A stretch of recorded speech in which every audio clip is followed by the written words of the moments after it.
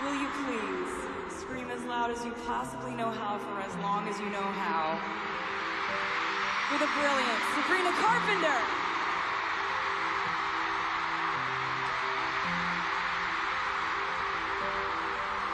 We are getting far more than the surprise piano acoustic song we were expecting. Taylor Swift has brought out Sabrina Carpenter, whose pre-show set was cancelled earlier tonight, to join her to play a mashup White Horse from Fearless and Coney Island from Evermore. Swift said Carpenter had heroically sacrificed her show, which I think is a crime against Sydney. Still pretty sad we didn't get a nonsense outro from Sabrina, but a duet is pretty rare and special at a Taylor Swift show, so we gave and we got.